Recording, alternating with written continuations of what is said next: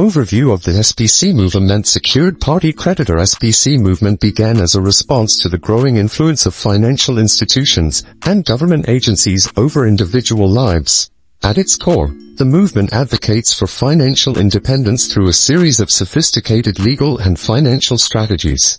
Central to the movement is the belief that individuals can reclaim control over their financial destinies by understanding and utilizing legal frameworks designed for commercial transactions. This promise of empowerment and privacy has attracted many, especially during times of economic uncertainty. The SPC movement is grounded in the notion that the conventional financial system is inherently flawed and often predatory. By leveraging legal instruments and understanding commercial law, SPC proponents believe they can navigate these systems more effectively and protect their assets.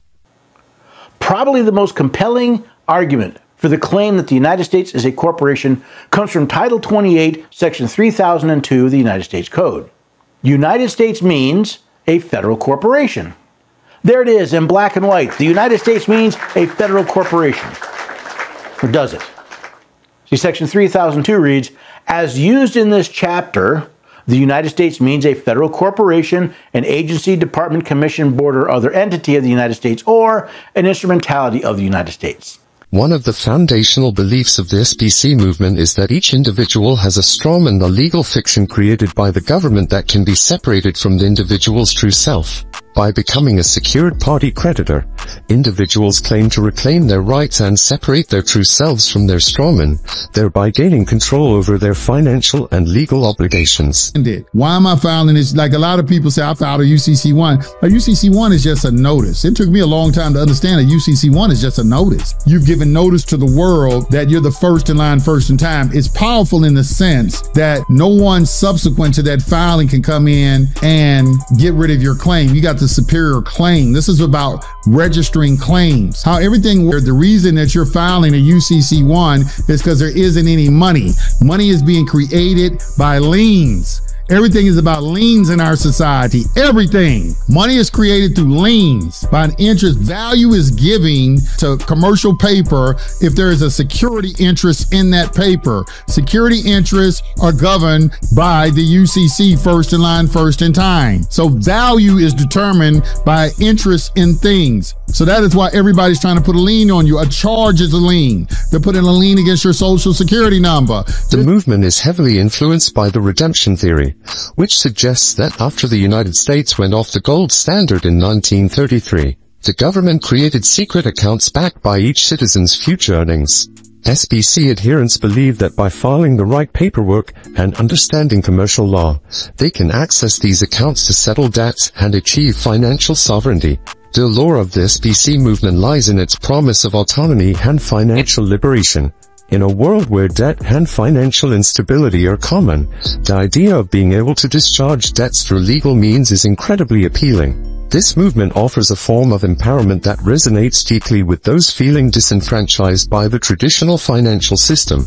However, the movement is not without its controversies and challenges. Legal experts and authorities often view SPC strategies as fraudulent and legally questionable. Many adherents have faced significant legal battles, resulting in fines, imprisonment, and ongoing scrutiny. Despite these challenges, the SPC movement continues to attract followers who are motivated by the promise of financial freedom and a desire to challenge the status quo. The movement's growth and persistence highlight the deep-seated desire for an alternative to conventional financial systems. Chapter 1 The birth of the SPC movement The SPC movement is deeply rooted in historical contexts of economic instability and societal discontent, influenced by the redemption theory, which posits that the United States declared bankruptcy in 1933 and established secret financial systems. Proponents believe they can discharge debts and reclaim financial sovereignty by navigating these systems. This belief has driven many to adopt and spread SPC methodologies, viewing them as a means to achieve true financial independence. Central to this theory is the idea that the government created secret trust accounts for every citizen, which can be accessed to settle debts. Roger Elvik, often credited as the pioneer of the SPC movement, introduced the redemption process based on these principles. Elvik's journey began as he sought solutions to financial difficulties faced by Midwest farmers during the economic crises of the 1980s. His methods involved using promissory notes and private trusts to challenge and discharge debts. Is the industrial community.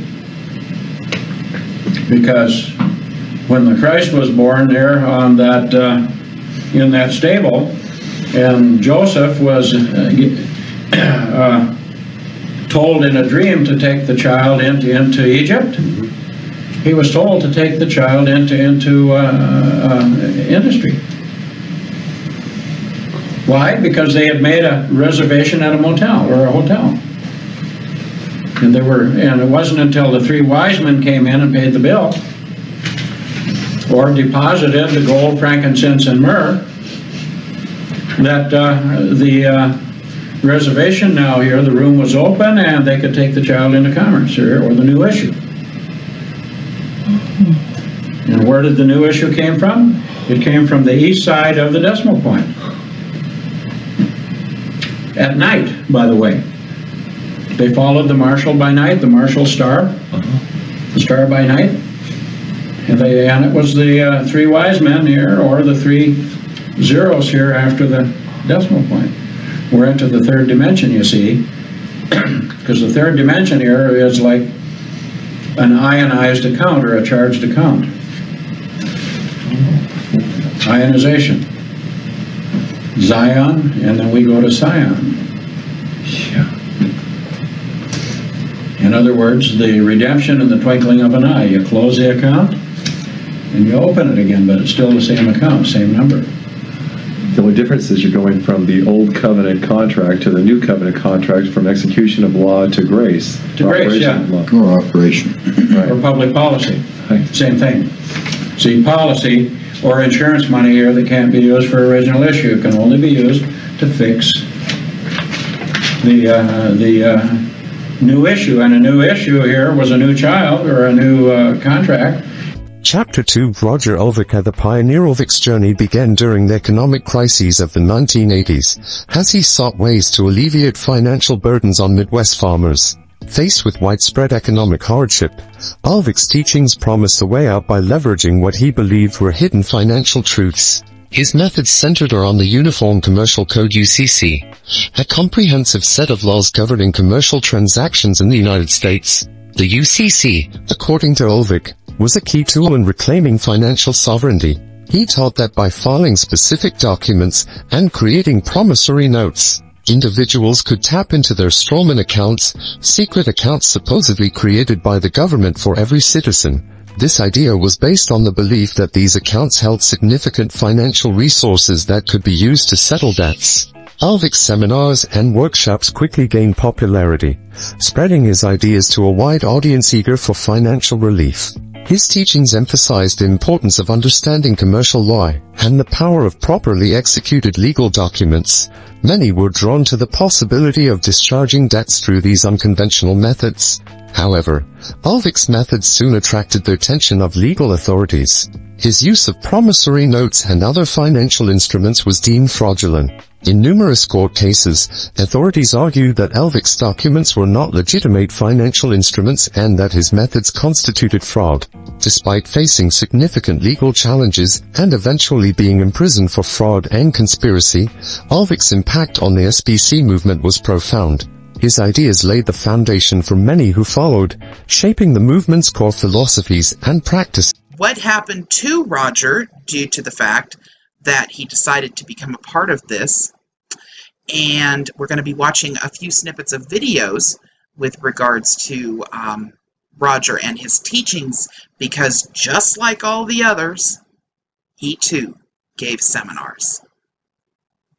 Here's a screenshot of Roger Elvik giving one of those very seminars that we're going to be talking about today. But before I do that, for those of you that have not heard about this, uh, let's talk about the redemption movement. Elvik's impact on the SPC movement was profound. His ideas laid the foundation for many who followed, shaping the movement's core philosophies and practices. Elvik's story highlights both the empowering potential and the legal risks inherent in SPC practices. While his teachings offered a sense of control and hope to many, they also exposed adherents to serious legal consequences. Elvik's legacy in the SPC community is a testament to the movement's enduring appeal and its controversial nature. Chapter 3 Winston Shrout, the educator Winston Shrout emerged as a prominent educator within the SPC movement, known for his ability to simplify complex financial concepts. His seminars focused on the use of negotiable instruments, such as IRS Form 1099-OID, to manage and offset debts. Shrout's teachings emphasize the concept of reporting income as original issue discount to counterbalance debts. This method involves reporting debt obligations as income, thereby creating a tax credit that can purportedly be used to discharge debts. Now, uh, I need to, I need to explain acceptance for value because I, I, I'm not sure that you understand what acceptance is. Let me see here if I can get this. I'm going to give you a little bit of a prelude to what we're going to talk about in the morning. I think it's bouncing off that board somehow. All right.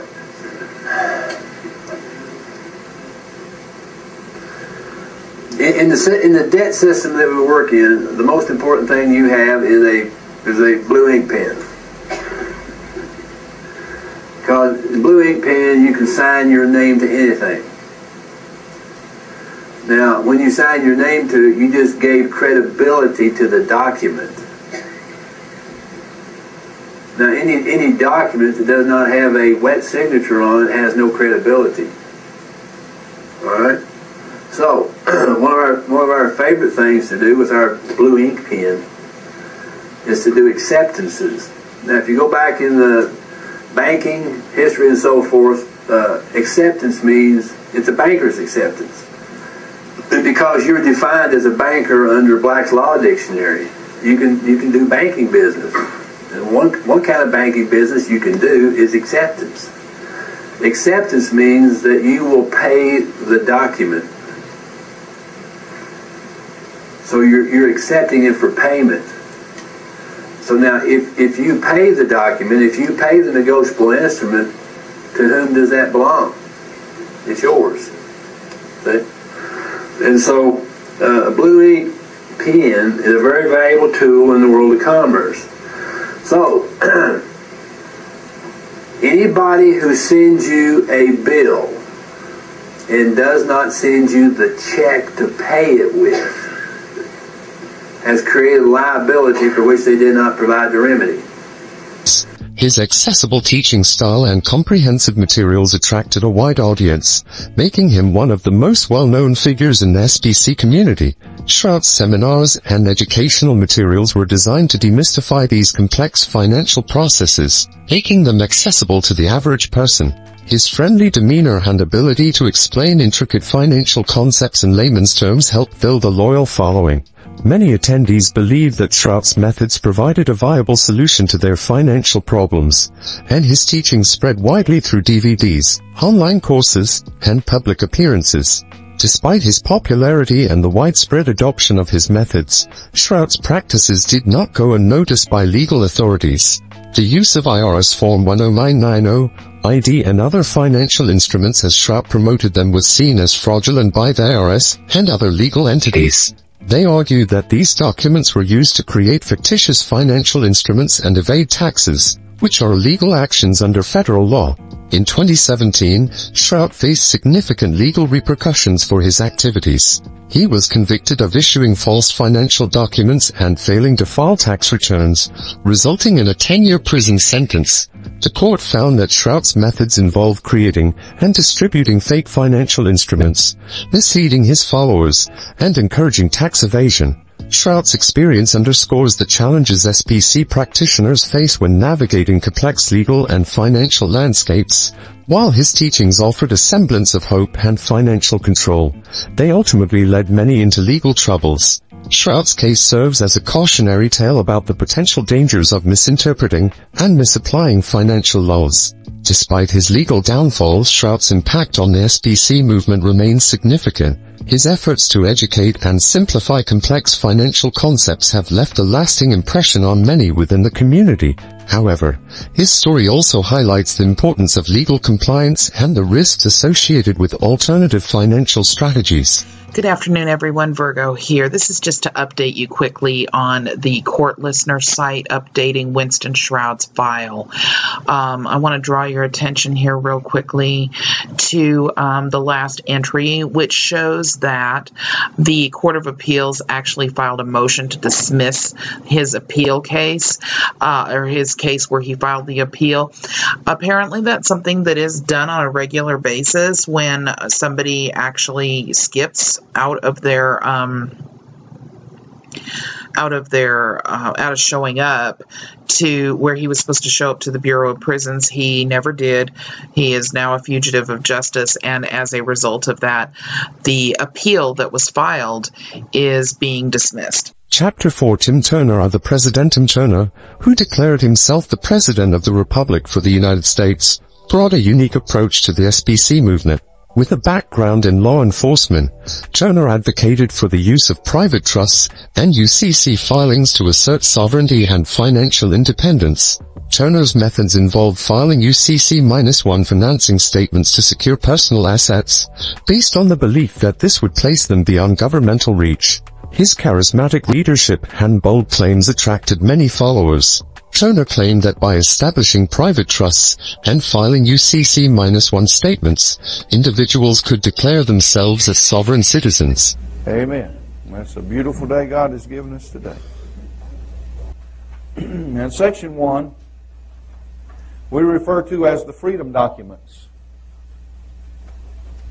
Now, the freedom documents, the purpose, sorry, I get a little loud every now and then, but the the freedom documents, their purpose is to establish your status. Most of us are debtors to the corporation. Most of us are most of us are debtors to the corporation. And we don't realize how we became debtors, and these agreements that we do in the freedom documents help to establish your proper status under the Bill of Rights and the Constitution that establish you. Now, the Constitution did not give you any rights. The Bill of Rights did not give you any rights. It just outlined the God-given, unalienable rights that were given to you as a birthright for being born on this nation, in this nation. Now, those rights are, are can't be taken away from you because they were not given to you by a, a government or a corporation they were given to you by God. That's your birthright. Thus operating outside the jurisdiction of conventional legal systems. Turner's teachings emphasized that by filing these documents, individuals could assert their personal sovereignty and protect their assets from government control. He held numerous seminars and public addresses, spreading his message and gaining a dedicated following. His methods were seen by many as a way to regain control over their financial and legal standing. However, Turner's activities eventually drew the attention of federal authorities. In 2012, he was convicted of conspiracy to defraud the United States and sentenced to 18 years in prison. The prosecution argued that Turner's methods involved fraudulent financial schemes, including the creation of fake financial documents and attempts to discharge debts illegally. The court found that Turner's strategies not only failed to comply with federal laws but also misled his followers, many of whom faced significant legal and financial repercussions. Turner's case underscores the legal risks associated with challenging established financial systems through unconventional means. Despite the legal challenges and his eventual imprisonment, Turner's influence on the SPC movement remains significant. His story serves as both an inspiration and a cautionary tale. While his teachings offered a sense of empowerment and autonomy, they also highlighted the potential consequences of pursuing alternative financial strategies without a thorough understanding of the law. Gal implications. Turner's legacy in the SPC community is complex. On one hand, he inspired many to seek greater control over their financial destinies. On the other hand, His legal troubles serve as a stark reminder of the importance of legal compliance and the potential dangers of misinterpreting financial laws. His story is a testament to the enduring appeal and inherent risks of the SPC movement. Chapter 5 Rod Class The Litigator at class, known for his extensive legal battles, focused on challenging government authority through administrative procedures and filing liens. His journey into the SPC movement was driven by a desire to combat what he saw as governmental overreach. Trying to educate the American people on what the truth is. It really is not what we're told by the court system or by the government. A lot of backdoor dealings that our government has done, how we went from a government to a corporation to a foreign government within our own system. I have a research team from all over the United States that we work with. And we pulled up a lot of congressional records of the corporation the United States. People are saying, well, Obama is a foreigner. He can't be president. Yes, he can, because we don't have American people running our offices. That 14th Amendment plays a very vital role on these people holding office. That's how they hold office, and this is why it's never discussed. Because if the information really got out that these people have to hold a 14th Amendment standing in order to hold public office, then they wouldn't have any public office. That changes this over. We're not part of the United States. We're not even a state. Well, if you're not part of the United States and you're not a state, then that means you're a corporation under your own Act of 1871. So now you have dissolved our government. But we're also going to get into detail of the bankruptcy of 1933 of how the Federal Reserve note is not real money through congressional records. This was not done by the people. This was done by congressmen behind closed doors. What they did is they set up our currency to fall in this country and had another currency, a corporation currency. They created the Federal Reserve Act of 1913. They created a corporate money value, setting this country up to give up its own currency. His deep knowledge of administrative law and assertive litigation style earned him a dedicated following. Class advocated for the use of UCC filings and other legal documents to assert personal sovereignty and challenge what he perceived as illegal government actions. Class's approach was rooted in a detailed understanding of administrative law. He argued that by filing specific legal documents, individuals could hold government officials accountable for overstepping their authority. This method, known as commercial lien strategy, involved placing liens on public officials' properties and demanding large sums of money for alleged violations of law. His assertive litigation style and willingness to take on the government made him a prominent figure in the SPC movement. However, Class's methods, while gaining traction among followers, often led to legal confrontations. Critics argue that his tactics can be legally questionable and potentially harmful. Many of his followers face legal repercussions for filing frivolous or fraudulent claims, leading to financial and legal troubles. Authorities viewed these actions as harassment and a misuse of the legal system, resulting in significant pushback from the courts. Chapter 6 Brandon Adams and Gordon Hall The financial strategist Senator Brandon Adams and Gordon Hall introduced sophisticated financial instruments and insurance schemes to the SPC movement. Their strategies focused on creative financing and asset protection, appealing to those seeking advanced methods for financial management. Okay. For those of you who are not familiar with trusts, let me give you the sweet and simple. Trust has basically four essential parts a grantor, a trustee, a beneficiary, and res, which is the thing of the trust, okay? Or the property. Could you say it one more time? Grantor, trustee, beneficiary, which are the three positions in a trust, and the res, or the property of the trust. Corpus is another word for it. Okay.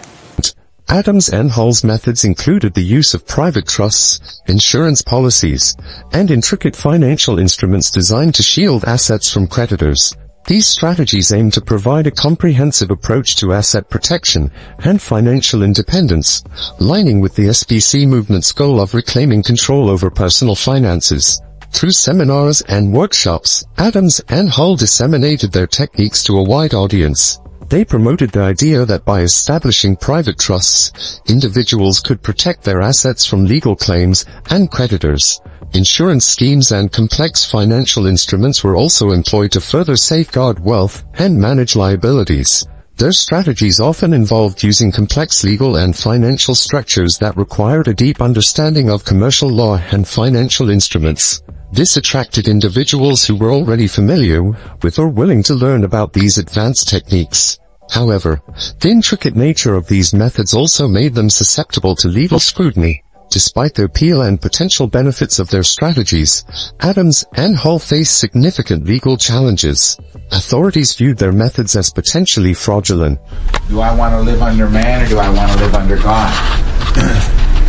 and it really is that kind of simple. Under man, he has how many codes, rules, statutes, etc.? 60 million. Tens and tens of millions of rules, codes, and statutes. More passed every year. So it's real easy for me to know that I don't want to live under man, nor can I. Because I can't win in his courts, or its courts, or this world.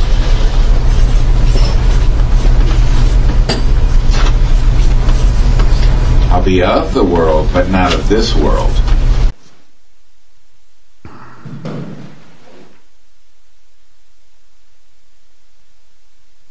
Good morning, Your Honors. My name is Monica Edelstein. I'm an AUSA from the District of Arizona. Your Honors, the government would submit that the instruments in this case, the fictitious financial instruments in this case, are precisely the type of instruments that Congress intended to criminalize under the statute 514.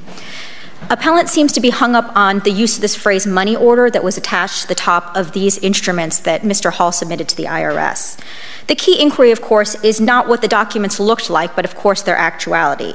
It's irrelevant what the defendant and his co defendants put on the top of these instruments. They could have labeled them anything sight drafts, promissory notes, currency. That is true, not part of what is relevant in the inquiry under 514. And it's not the government's burden under 514 to prove that a money order as a financial instruments themselves are false and fictitious.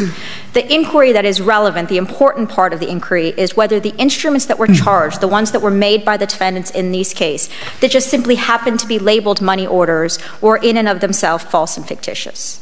In other words, writing money order on an instrument does not make it a real money order. But in creating an instrument here to look like a real money order, when in fact they were simply worthless documents created out of whole cloth, this is what makes them false and fictitious, that they were simply created out of nothing. Um, this brought these particular instruments into the category and the class criminalized by 514. What's the difference? I, I should know this answer, but I do not. What's the difference in terms of proof, punishment, etc., between charging this as a false or fictitious or charging this as a counterfeit?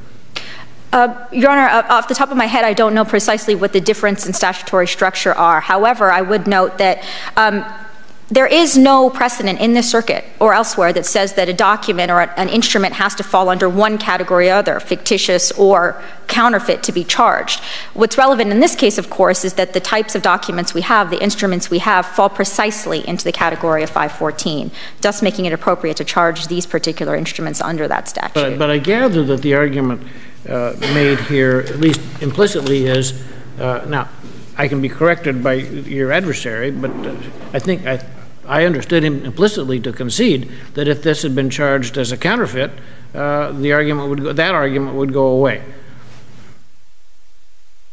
Your Honor, uh, whether or not they could be charged under the counterfeit statute is an entirely separate argument. What they can be charged under and what they are in this case, these false two monies, are false and fictitious. They're um, uh, to the point with respect to, I think the Murphy case puts to bed um, any indication that on the face of these, um, they, they, uh, they couldn't be the jury could not infer that they were issued under the authority of the United States.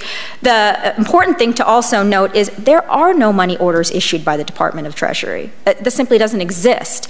Um, and it goes back to the original point that it doesn't matter what the defendants put on these particular documents. It is the, the characteristic and indicia indicated on them that pulls them within the false and fictitious statute under 514. Despite their legal troubles, Adams and Hall left a lasting impact on the SPC movement. Their innovative approaches to asset protection and financial management continue to influence those seeking alternative methods to safeguard their wealth. However, their experiences also highlight the importance of understanding and adhering to legal standards and financial practices. Ian and David Clarence brought innovative methods to the SPC movement, focused on trust management and asset protection. Ian introduced creative financial instruments, and Clarence emphasized administrative procedures. Their diverse approaches have contributed to the movement's evolution. Susan Tucci's approach centered on the creation and management of private trusts and legal claims, highlighting the importance of legal documentation. Are fucking perfect. Okay, his ownership of the funds, his ownership of the accounts are are completely perfect. So I made sure you guys all had those documents so you could at least see them. Of course, they're mine. I put everything out in mine just so that I'm taking the responsibility as far as the, and of course, I'm communicating real time with people in the industry, uh, the banking industry, uh, and financial districts. And so basically, all the I's were dotted and T's crossed. They can't touch. Uh, me personally, just as far as all the work that's being done, if they can't touch me. This is America. Don't catch you slipping now. Uchi, Ian, and David Clarence brought innovative methods to the SPC movement, focused on trust management and asset protection. Ian introduced creative financial instruments, and Clarence emphasized administrative procedures.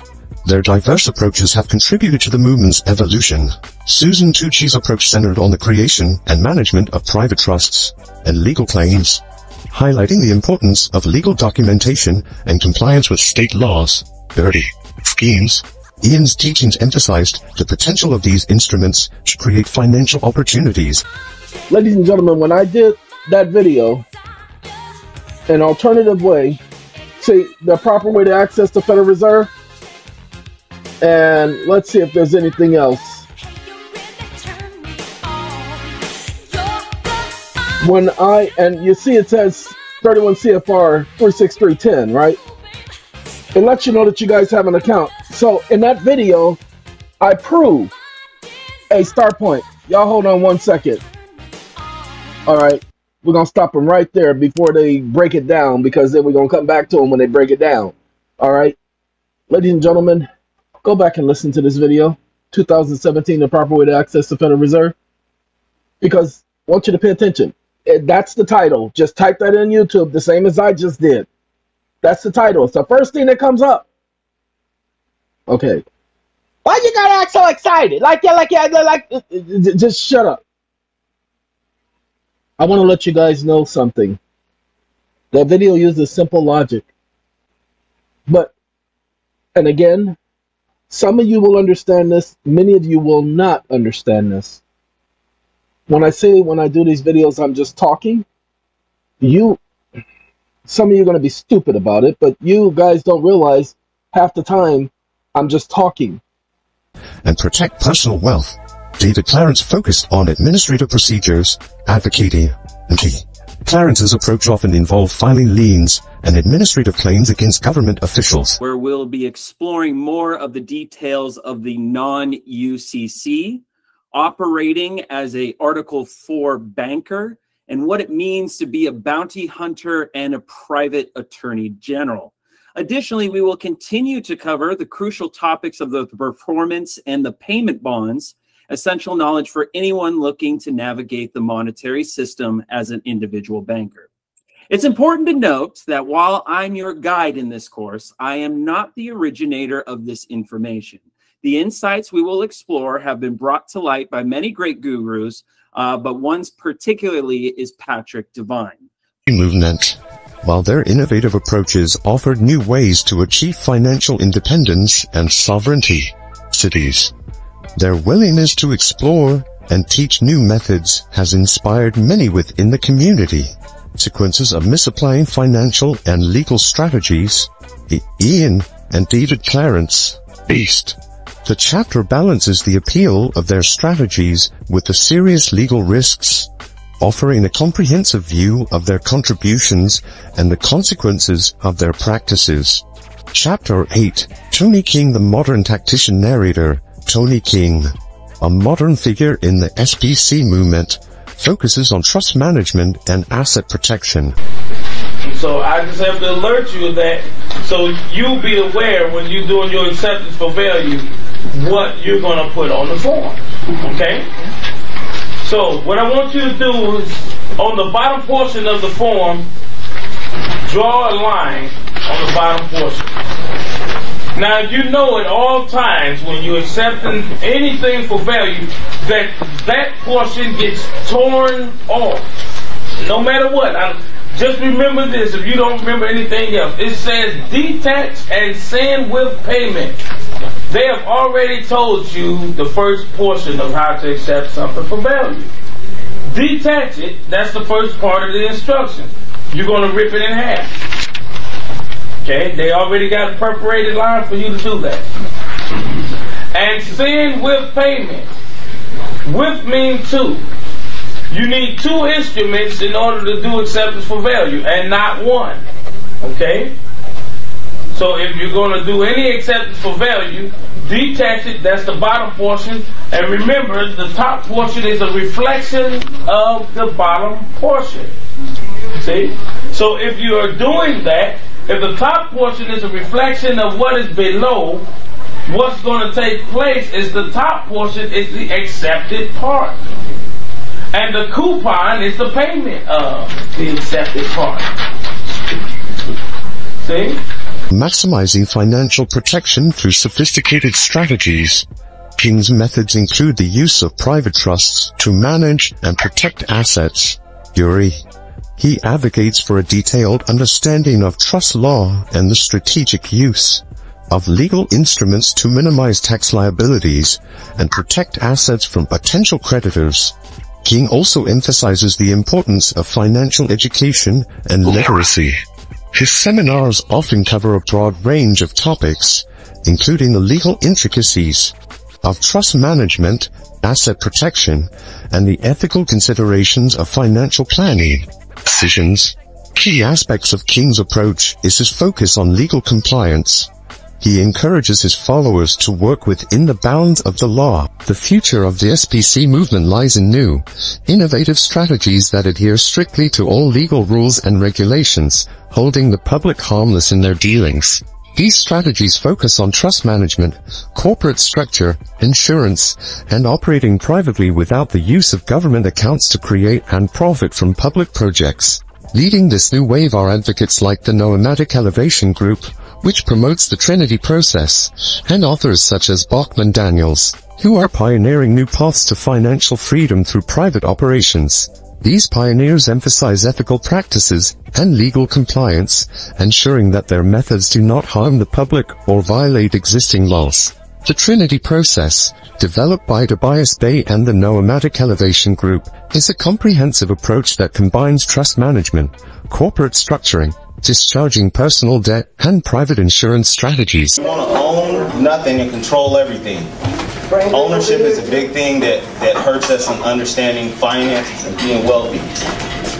How the wealthy stay wealthy is they control things so you can get a different type of write-off.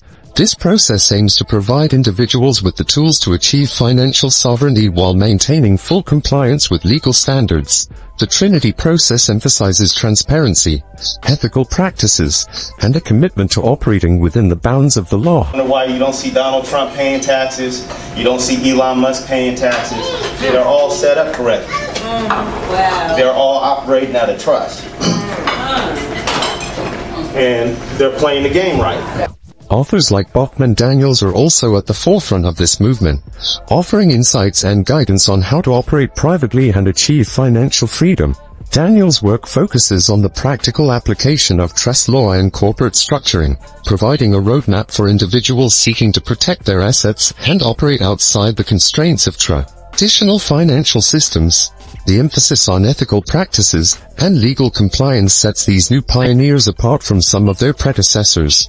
By ensuring that their methods hold the public harmless and adhere to all regulations, they are building a sustainable and responsible path to financial sovereignty. Their strategies aim to empower individuals to manage their finances independently while avoiding the legal pitfalls that have plagued the SPC movement in the past. As the SPC movement evolves, these futuristic pioneers are leading the way, advocating for a balanced approach that combines innovation with responsibility. Their work represents a promising future for those seeking financial independence through private means, and their commitment to legal and ethical standards offers a model for sustainable financial practices.